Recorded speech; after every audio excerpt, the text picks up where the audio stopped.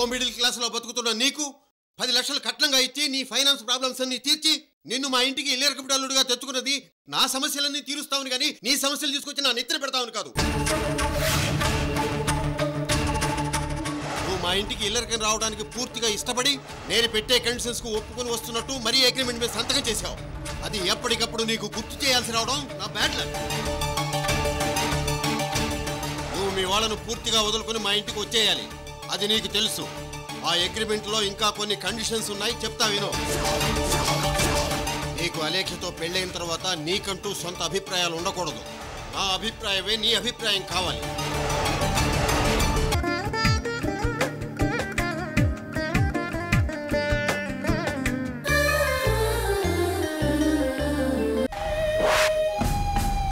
ఇదేంట్రా sudden entry? Aishwarya గురించి తెలిసినవాడు ఒకడు మాకు కనిపించాడన్నా? అవునా? ఎవరు? విజయ్ హాస్పిటల్లో కనిపించాడన్నా. వాడి పేరు ధనంజయరావు అంట ధనుంజయరావా? వాడు ధనుంజయరావు అని మీకెలా తెలుసు? వాడికి మీకు మధ్య ఏం జరిగింది? చెప్పండి రా ఐశ్వర్య ఫోటో పట్టుకుని వెతకడానికి విజయ హాస్పిటల్కి వెళ్ళామన్నా. విజయ హాస్పిటల్ కా అబ్బా చెప్పేది వినన్నా. చెప్పి చావు.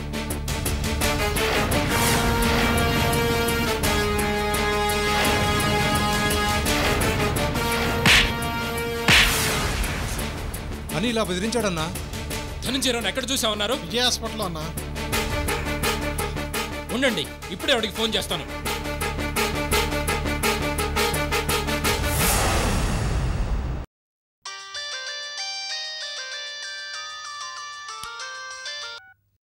హలో ఎవరు? నీ మొగుణ్ణి సంతోష్ని. ఏడ్చావు? నువ్వు నీ పెళ్ళానికే సరైన మొగుడు కాదు. ఇక నాకు మొగుడు ఏంటి చెప్పా. అబ్బా నీకు చాలా ధైర్యం వచ్చిందే. కారణమేంటో? సోదాపి విషయం చెప్పు. నాకు పనుంది. ఇప్పుడు నువ్వు ఎక్కడున్నావు? విజయ హాస్పిటల్ అని చెప్తే వాడు ఇక్కడికి తయారవుతాడు. ఆఫీస్లో ఉన్నాను. అలాగా? నేను నిన్ను ఒకసారి డైరెక్ట్గా కలిసి మాట్లాడతాను. నేను నీతో మాట్లాడాలి అనుకోవటం లేదు. చేతనైతే ఐశ్వర్యం పట్టుకో. అంతేగాని నాకు ఇలా ఫోన్లు చేయటం డైరెక్ట్గా కలవటం చేయకో. ఇడియట్ విజయ హాస్పిటల్లో ఉండి ఆఫీసులో ఉన్నానని అబద్ధం చెప్తాడా? ఇప్పుడే విజయ హాస్పిటల్కి వెళ్ళి వాడిని పట్టుకుంటాను. అన్నా. ఏంటి? నువ్వు మారువేషంలో కాకుండా ఇలా వెళితే ధనుంజయరావు నిన్ను గుర్తుపడతాడు కదన్నా. ఓరి బుర్రలేని వెధవా. ధనుంజయరావు నన్ను గుర్తు పట్టాలరా మిస్టర్ ధనుంజయరావు విజయ హాస్పిటల్కి వస్తున్నాను. కాచుకో. ఒకసారి మారువేషం అంటాడు మరోసారి మామూలు అంటాడు. వీడెవ్వరికీ అర్థం కాడు. వీడు ఎవరికైతే భయపడి మారువేషంలో తిరుగుతున్నాడో వాడు గాని వీడికి హాస్పిటల్లో కనిపించాడంటే సీన్ ఎలా ఉంటుందంటావు? బాయిలర్లో పడ్డ బాతులా ఉంటుంది.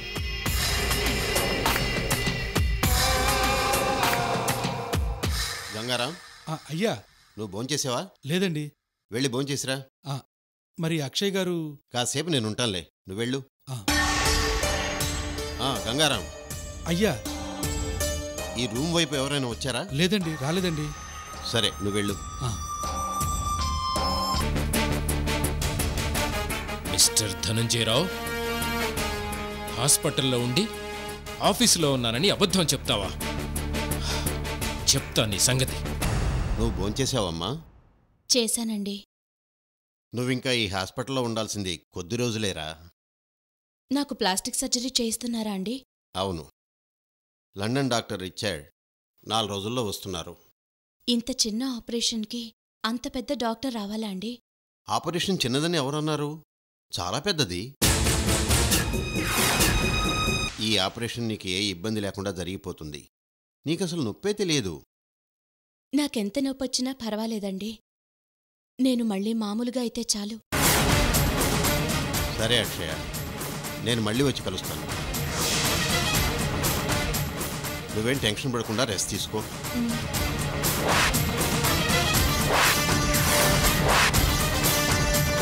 వీడు ఇక్కడికి వచ్చాడేంటి?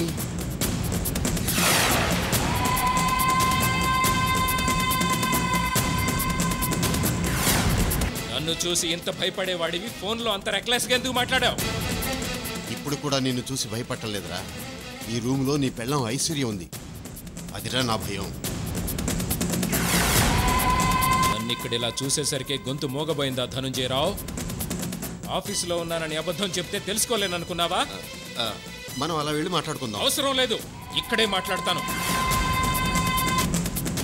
నేను ఇక్కడ మాట్లాడుతుంటే అటు ఇటు దిక్కులు చూస్తావేంటి? సరే విషయానికి వస్తాను. మావయ్య గారు డిశ్చార్జ్ సమ్మరీ రెడీ చేయించారో లేదో కనుక్కోవాలి.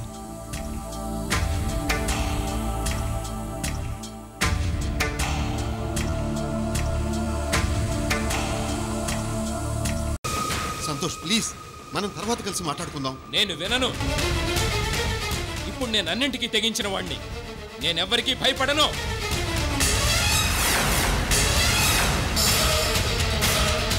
సూరిగాడు ఇక్కడ ఉన్నాడేంటి ఏ ఆగు ఆ రూమ్లో దేనికి ఆగు.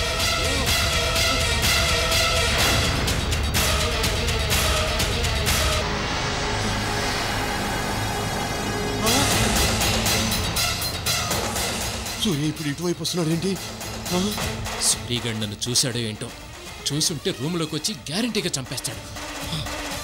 ఏం చేయాలి?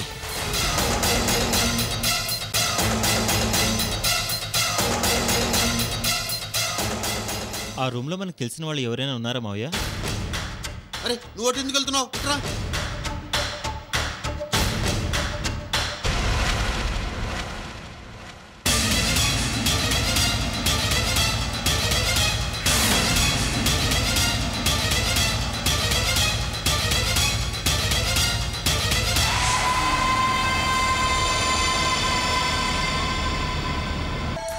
దేనికో చాలా టెన్షన్ పడుతున్నారు? నీ గురించే? నా గురించా? అవును.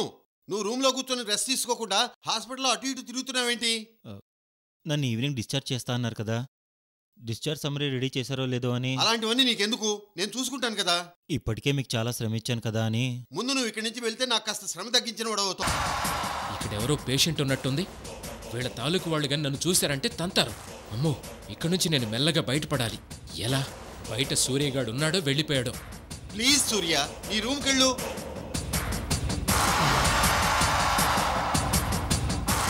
ఇంకా అలా చూస్తావేంటి? వెళ్ళు. లోపల ఐశ్వర్య మొగుడు బయట ఐశ్వర్య ప్రియుడు. వీళ్ళిద్దరిలో ఎవరు ఐశ్వర్యం చూసినా డేంజరే మావయ్య గారు దీనికి చాలా టెన్షన్ పడుతున్నారు.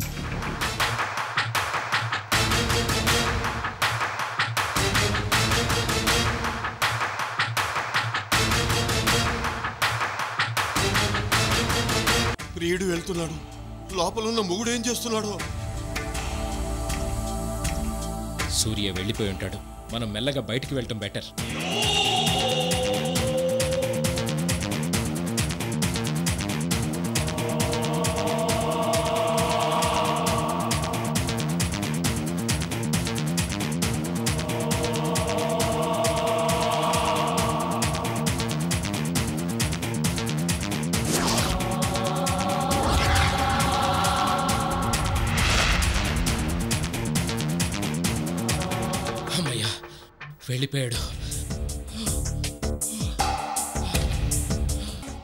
వీడిలా రిలాక్స్ అవుతున్నాడంటే లోపలున్న ఐశ్వర్యను ఖచ్చితంగా చూసుండడు. మన అదృష్టం కొద్దీ ఐశ్వర్య ఏ టాయిలెట్కైనా వెళ్ళిందేమో.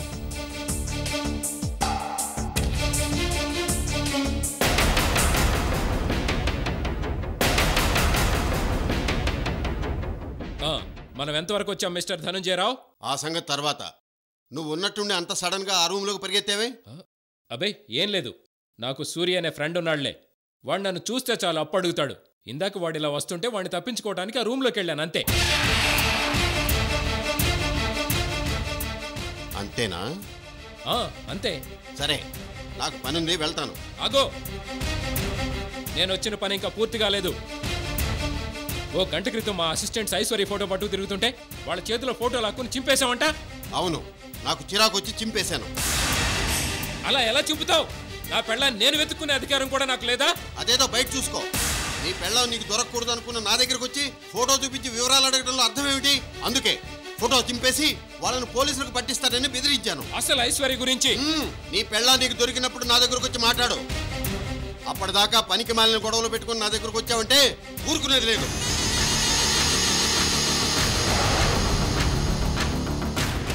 సరే ఇప్పుడు వెళుతున్నాను. ఈసారి ఐశ్వర్యతో వచ్చి నీ సంగతి చెప్తాను.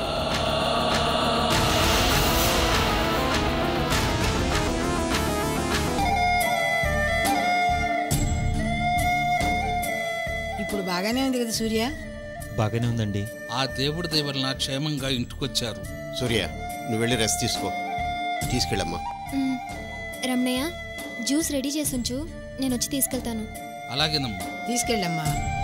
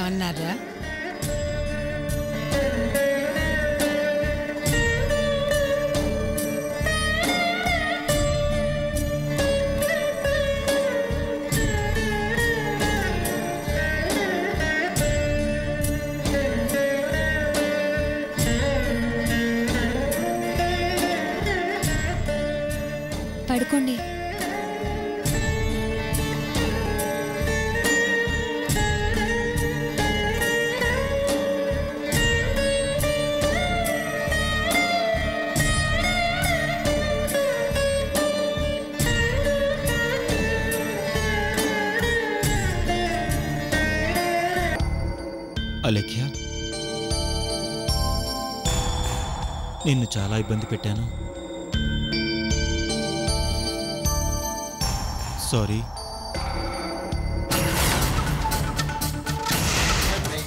ఇలా జరుగుతుందనుకోలేదు. జ్యూస్ తీసుకొస్తాను.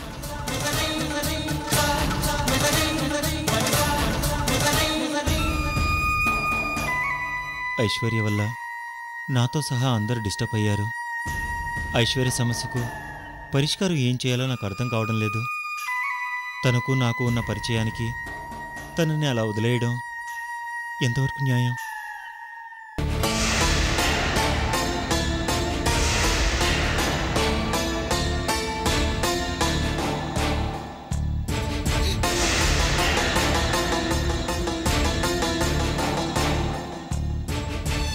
ఐశ్వర్య విషయంలో నువ్వు చాలా సీరియస్గా ఉన్నట్టున్నావు. ఇంకా చాలా వరకు కంట్రోల్ చేసుకున్నాను కనుక ఇలా ఉన్నాను.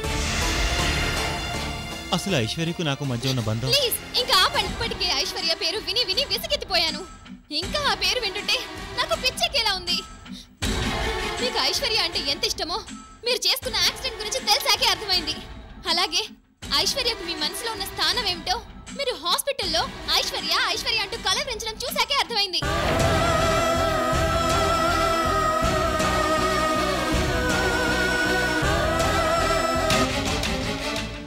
అమ్మాయితో ఏ సంబంధం లేకపోయినా మీరు ఆ అమ్మాయిని చూసినా మాట్లాడినా నాకు కష్టంగా ఉంటుంది. అలాంటిది ఎప్పుడో పెళ్ళి చేసుకుని వెళ్ళిపోయినా మీ పాత ఫ్రెండ్ ఐశ్వర్య పేరును మీరు ఇన్నిసార్లు తలుచుకోవడం నాకు అస్సలు నచ్చడం లేదు. నేను భరించలేకపోతున్నాను. అసలు ఐశ్వర్య? ప్లీజ్. నన్ను మాట్లాడనివ్వండి. ఐశ్వర్య పేరు నేను చెప్తున్నాను కదా దయచేసి ఆ పేరు మీ నోట్ నుంచి పలకొద్దు. వినడానికి నాకు కష్టంగా ఉంది. నేను ఇలా మాట్లాడటం మీకు కష్టంగా ఉందేమో. నా స్థానంలో మరో అమ్మాయి ఉన్నా ఇలాగే మాట్లాడుతుంది. పైగా నేను నా మొగుడు నాకే సొంతం అనుకునే టైప్ కదా. అందుకే నాకు మరింత కష్టంగా ఉంది.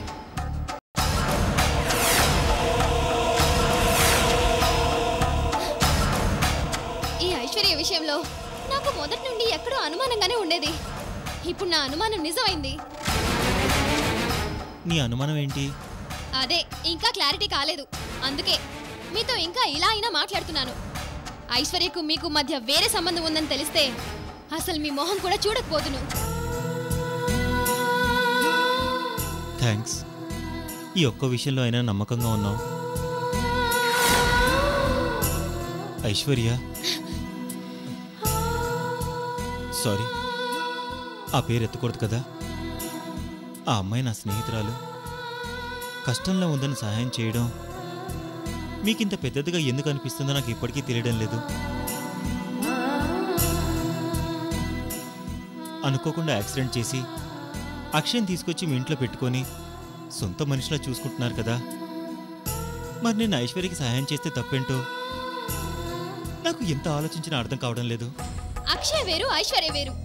అక్షయ్ అమ్మాయి నేను అమ్మాయినే. మా ఇద్దరు ఫ్రెండ్షిప్కు మీకు ఐశ్వర్య మధ్య ఉన్న ఫ్రెండ్షిప్కు లింక్ పెట్టకండి. టోటల్గా క్వైట్ డిఫరెంట్.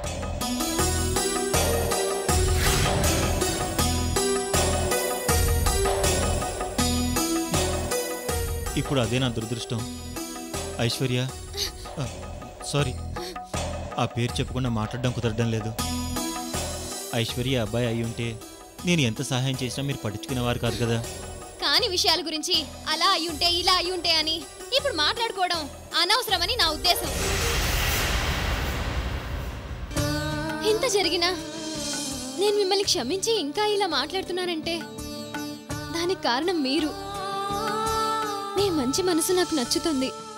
మీరు మాట్లాడే ప్రతి మాటలోనూ నిజాయితీ కనిపిస్తుంది. మీరు మీకంటే ఎదుటి వాళ్ళ క్షేమం గురించి ఎక్కువగా ఆలోచిస్తారు. మీలో సహాయం చేసే గుణం ఎక్కువ. ఎదుటి వాళ్ళని గౌరవిస్తారు. వీటితో పాటు మీరు తప్పు చేయరనే నమ్మకం. ఎవరిని ఎప్పుడూ ఇబ్బంది పెట్టరు. ఇలా మీలో చాలా మంచి లక్షణాలున్నాయి. ఇవన్నీ చూసి ఒక్క ఐశ్వర్య విషయంలో తప్పున్నా ప్రస్తుతానికి క్షమించి వదిలేద్దాం అనుకుంటున్నాను.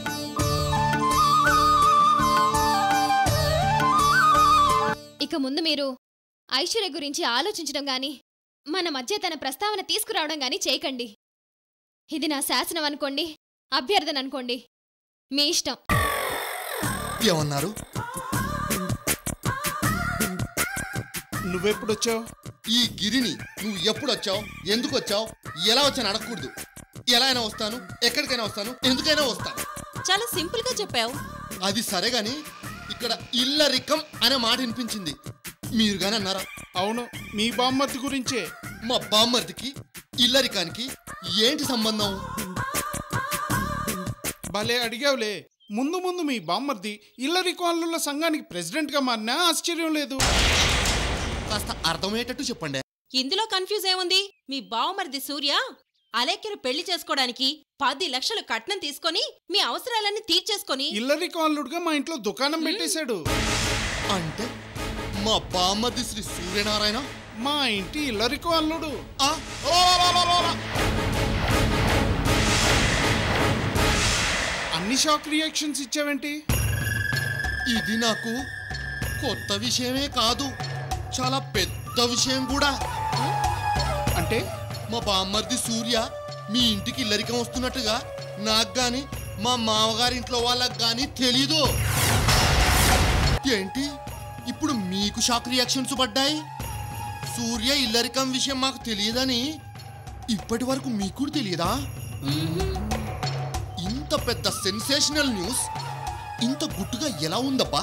ఇప్పుడు నువ్వు మాకు చెప్పే వరకు సూర్య ఇల్లరికం మ్యాటర్ వాళ్ళ ఇంట్లో వాళ్ళకి కూడా చెప్పలేదని మాకు తెలీదు. అబ్బా చెప్పిన మ్యాటర్ని మళ్ళీ మళ్ళీ తిప్పి చెప్పే బదులు ఇప్పుడు ఏం చేయబోతున్నారో అది చెప్పుకోండి.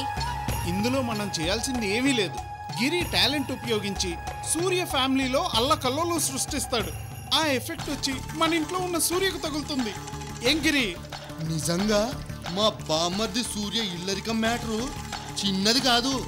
టీవీ ఛానల్ వాళ్ళకి గనుక తెలుసుంటే ఇప్పటి వరకే పన్నెండు గంటల లైవ్ షో పెట్టేవాళ్ళు. మీ బామ్మర్దికి అంత పాపులారిటీ లేదులేండి. అందుకే కదా నేను ఆగిపోయాను.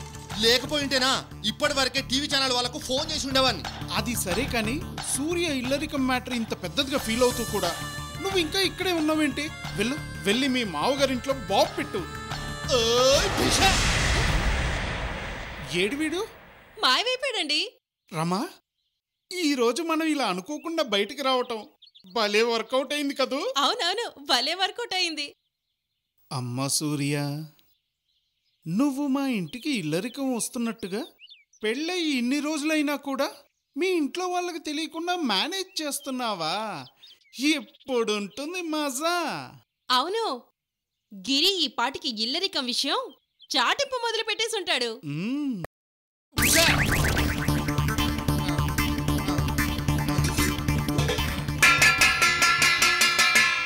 ఇందు మూలంగా యావన్ మందికి తెలియజేయనది ఏమనగా? ఇంట్లో ఉన్న వాళ్ళందరూ ఒక్క ఒక్కసారి హాల్లో ప్రత్యక్షం కావాల్సిందిగా కోరుతున్నావా? హో!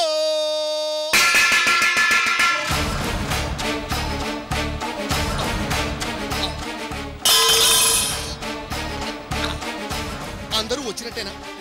ఇంకా ఎవరైనా రావాలా? ఏమిటి మీ గోల? ఇది గోల కాదు. నేను చెప్పేది మీరు వింటే మీ పని గగ్గోలే. ముందా ప్లేట్ ఇలా ఇవ్వండి. ఇప్పుడు చెప్పండి మీ చాటింపు కారణం ఏమిటి ఇంట్లో సంధ్యా ధనుష్ లేరా? ట్యూషన్కి వెళ్ళారు.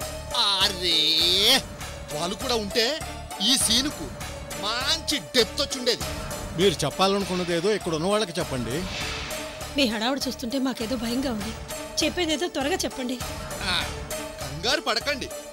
ఇప్పుడు మీరు వినబోయే న్యూస్ మామూలుది కాదు బిగ్ బ్యాంగ్. మిమ్మల్ని కొంచెం మెంటల్గా ప్రిపేర్ చేయాలి.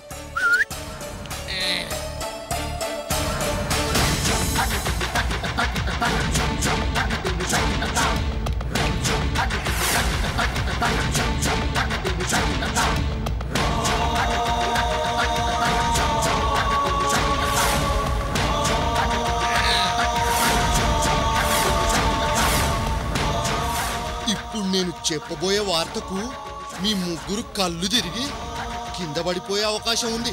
అలా జరగకుండా వెంటనే ఈ మంచినీళ్ళు తాగేయనే అబ్బా విషయం చెప్పకుండా ఈ బిల్డప్ ఏంటండి? ఇది బిల్డప్ సీను. నేను ఈ మాత్రం బిల్డప్ ఇవ్వకపోతే ఎలా? మిమ్మల్ని ఇంకా టెన్షన్ పెట్టడం బాగుండదులే గానీ మంచినీళ్ళ గ్లాసులు పట్టుకొని రెడీగా ఉండండి. వన్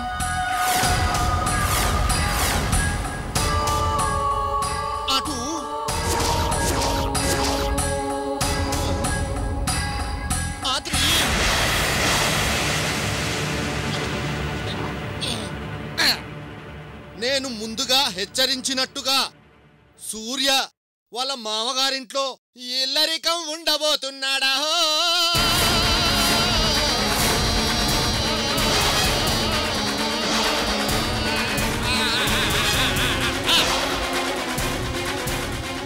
నేను చెప్పానా? మీరు షాక్ అవుతారని? ముందుగా మంచినీళ్ళు తాగండి. మంచినీళ్ళ తర్వాత మీరేమన్నారు?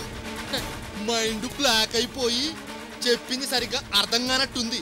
మళ్ళీ ఇంకోసారి చెప్తాను. జాగ్రత్తగా వినండి. సూర్య వాళ్ళ మామగారింటికి ఇల్లరికం వెళ్ళిపోయాడు. మీరు చెప్పేది పచ్చి నిజం మామయ్య గారు. ఐశ్వర్య గతం మర్చిపోవడం ఇప్పుడు తను ఎక్కడుందో ఎవరికి తెలియకపోవడం. ఐశ్వర్యలాగే మీ ఇంట్లో ఉన్న అక్షయ్ కూడా గతం మర్చిపోయింది కదా? నాకెందుకో? ఈ అక్షయ ఐశ్వర్య ఒకరేనా అని ఎక్కడో చిన్న డౌట్గా ఉంది.